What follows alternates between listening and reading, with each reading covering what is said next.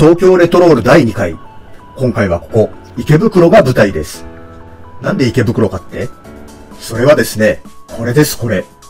ここ池袋で、レトロ百貨店なるイベントが開催されているらしいんです。見て、食べて、学べる。昭和と未来の展覧会。もうこのチープな言い回しがまさにレトロ。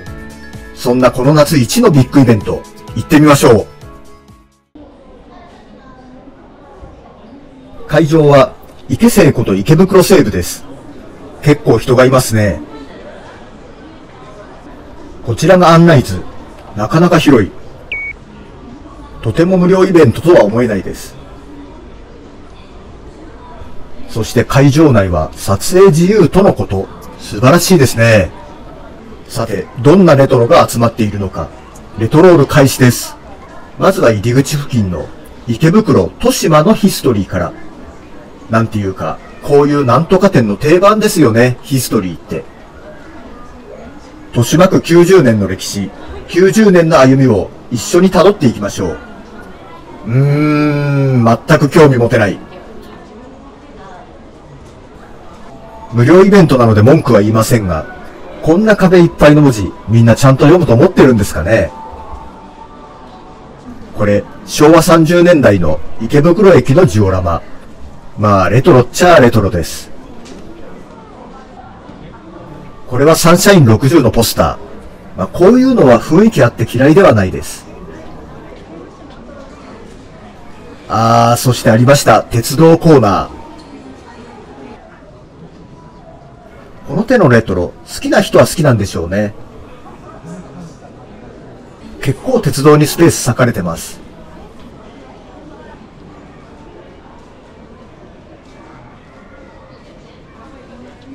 あー、あの花ですね。これも客寄せ要素なんでしょうけど、このイベント、昭和と未来の展覧会とか言ってませんでしたっけ？アニメの舞台となった駅の創業当時。なるほど。知らねえわ、そんなもん。また鉄道ネタかよって感じですね。もうレトロとか関係ないじゃん。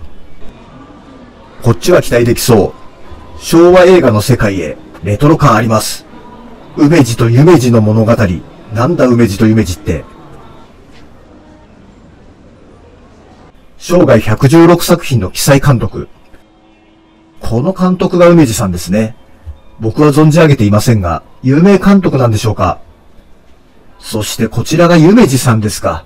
女優さんですね。夢路さん、お綺麗ですがやっぱり存じ上げていません。往年の名女優とかなんですかね。ん？あれはもしかして、梅路監督が撮った夢路さんが出ている映画ですかね。この、襲われているのが夢路さん？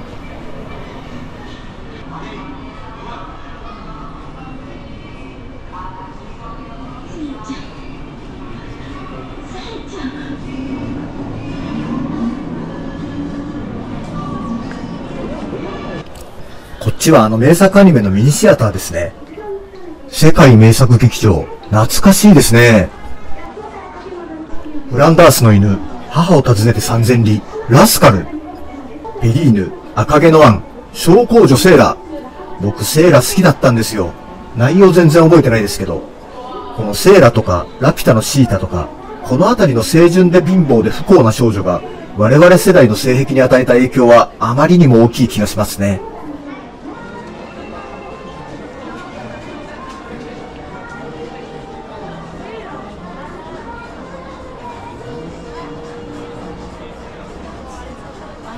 頃の僕らの宝物。こういうのこういうの、こういうの待ってたんですよ。こういうのタイトルとかなんかこうあのあの絵がおー、江戸川乱歩のこの本。少年探偵団小林少年。学校の図書室で読みまくりましたよ。こう来なくっちゃ、ようやくテンション上がってきた。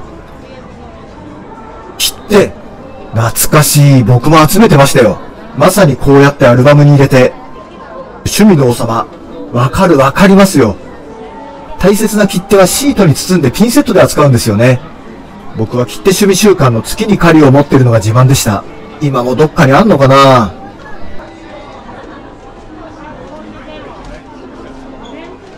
これは相当古いタイプの公衆電話ですね。テレホンカードが使えた緑のやつでさえ、最近見かけませんよね。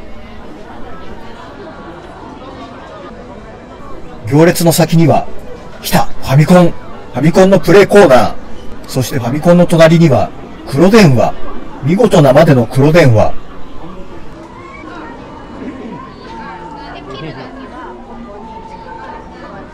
ってなるかなすみませんちょっと触ったことないいやいやぜひ今はさ、こうやって。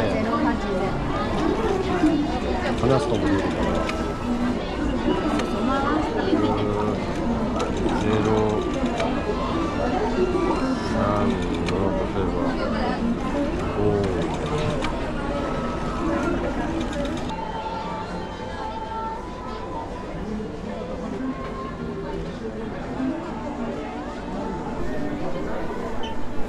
やっぱりファミコンといえばスーマリだよな。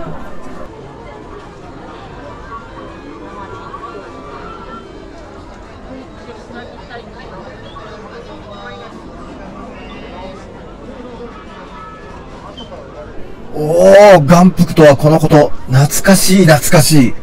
うわ、オホーツク。アイラブオホーツク。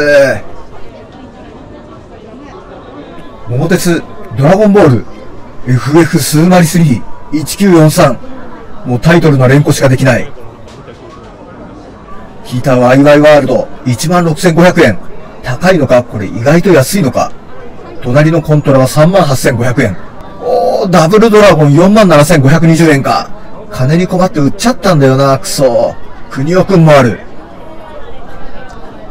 ゲームウォッチか、ドンキーコング。この発売した年と出来事がセットになってるの、いいよな豊島区の歴史とかよりよっぽど意味がある。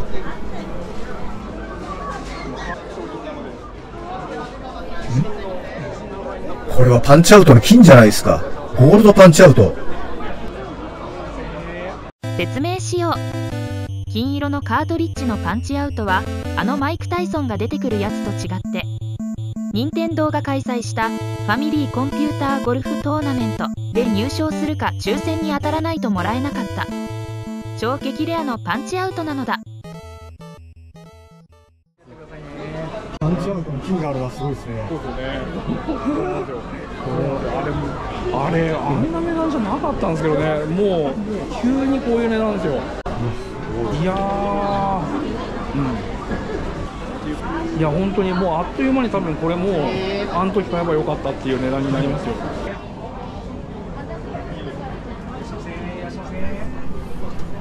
やばいな、これ。もうずっとここに入れるなジョイカード。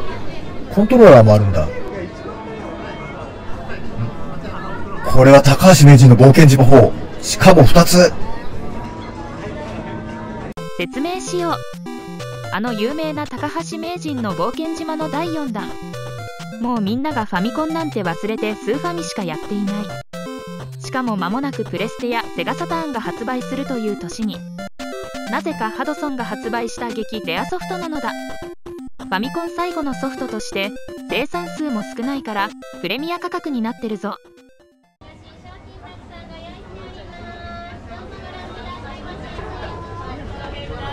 ファミコンゲームができる機会、いくつも出ましたけど、やっぱりファミコンはこの形なんですよね。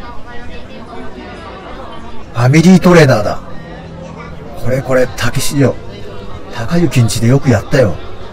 あいつの家広かったから暴れても大丈夫だったんだよな。ファミリーベーシックか。これ今買ってもオブジェにしかならないよな。なんだこれ。なんか高級そうな灰皿。確かに高級そうではありますが。おー、ラジカセ。こういうのも懐かしい。うちにはビデオデッキがなかったから、これでテレビの音を録音したりしてたんですよね。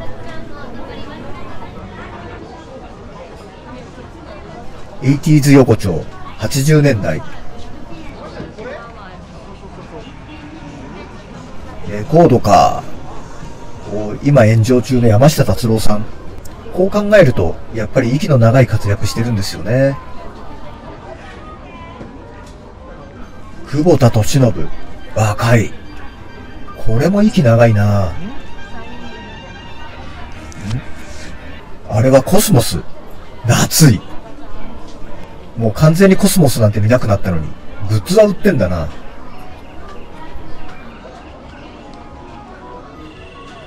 ガチャ、スーパーマリオとビックリマン。鉄板のコンビだけど、ガチャって見たことないな。これできないのか。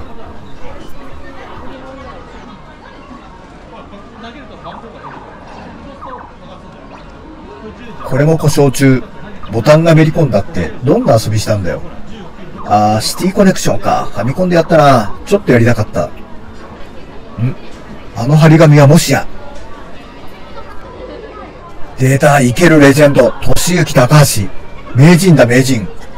名人がここに来る日があるんだ。どうせならその日に来たかったないやいや、最初はどうなることかと思いましたが、これ相当いいイベントだったんじゃないですかね。まだまだ紹介してないものもありますし、グルメもある。高橋名人もいる。知らない人も多いでしょうし、2週間しかやらないのはもったいないですよ。でも無料だから2週間が限界なのかもしれないですね。本当我々レトロラバーズにとって素敵な夏休みプレゼント、ありがとうございました。